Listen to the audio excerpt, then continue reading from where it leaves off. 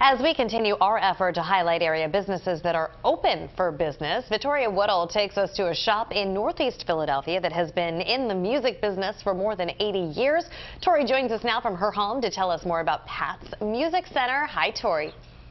Hey, Jess, and yeah, if uh, this store's a rockin', you better come and knock in. That's right. I mean, they've been doing this for decades, and Pat's Music Center is a very special, very special shop, not only to the Northeast community, but to the area. It's one of the oldest in Philadelphia that's been doing what they do. And actually, my dad used to take music lessons there.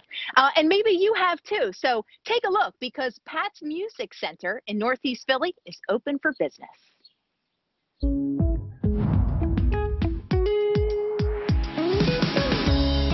Do you play any instruments? I don't play any instruments. something up? I'm kind of the front of the house guy. Right. You know. Right. The My, leader of the band. leader of the band. That That's is true. you. Sounds like Dan Fogelberg. Pat's Music Shop in Mayfair is one of the oldest music shops in Philadelphia. Everybody's got a memory of, you know, whether their dad or their grandmom. Uh, I hear it several times a week. You know, I knew your grandfather, your grandfather fixed my saxophone. And it was started in 1937 by Bob's grandfather. At the time, it was called the Frankford Saxophone Shop. Eventually, it was renamed and Bob's dad would take over, but he wasn't there solo. I went down the first day that he took over and somebody came in and asked for a record and my father really didn't know what it was. And I says, Dad, I says, we have that record. And he says, well, run after the customer. I says, and I guess the rest is history. There's not a day that I don't enjoy going to work. And uh, I guess case in point, I work seven days a week. Did you ever get that Coldplay yet? Yeah, yeah. You did? Yeah, I saved it for you.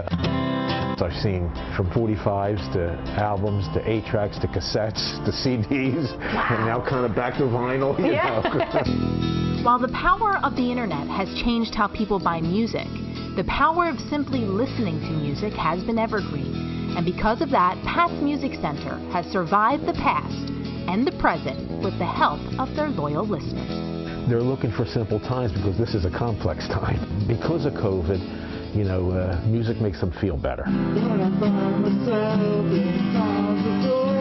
Doesn't sound like you are going to stop the music anytime soon. I can't stop the music. this is my passion, and I'm going to be here. This is where I want to be. So your daughter wrote in, and she said that you were the hardest working person that she knows. my father instilled that to me, you know, work ethic and and I remember one time I said, Dad, I said, you know, I want to kind of stay home. You know, my friends are coming over, we're going to go swimming. And he goes, well, that's great. Let's go to work. Look at how you've thrived. Was it the work ethic? I think so, yeah. Just being there all the time. The store runs the best when I'm here. That's why you're the leader of the band. I guess so.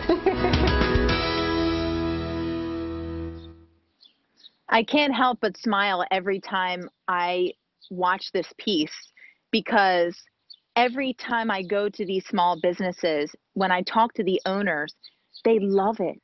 They love what they do. The community loves them. And the reason why we do this segment is because they need our help. I want to give a shout out to Bob's daughter who reached out to me and she said, "My dad has never taken a vacation in his in his entire life because he loves what he does." She did a GoFundMe for Pat's Music Center to make sure that they survived and you know they're they're doing what they can, but this is really our responsibility to help them out so they don't have to stop the music. So I encourage all of you to go visit Bob at Pat's Music Center. They do music lessons, they have CDs, vinyl, uh, instruments, they have everything you need, DJ equipment. So go visit them. And uh, Jess, if you were to pick up any vinyl, what do you think you would pick up? Oh, any one? I know, I just put you on the. Pink yeah. Floyd?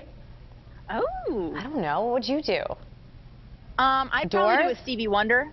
Probably okay. do a Stevie Wonder. I love the Doors though too. Hmm.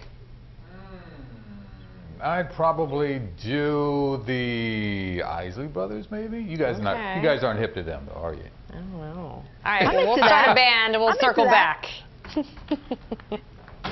All right, Tor. Thanks.